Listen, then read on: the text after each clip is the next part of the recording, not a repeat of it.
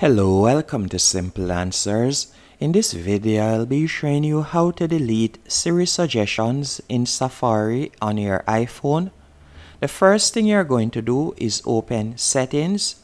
Once in Settings, you're going to scroll down and select Safari. You're going to tap on Safari. Then from here, you will see the option Safari Suggestions. You're going to toggle that off and you will also see the option Siri and search at the top. You can go right there. And from here you will see the options show up in search. You will leave that on but right where you see suggestions you can simply toggle that off. And that's it. You can toggle it off and on if you want.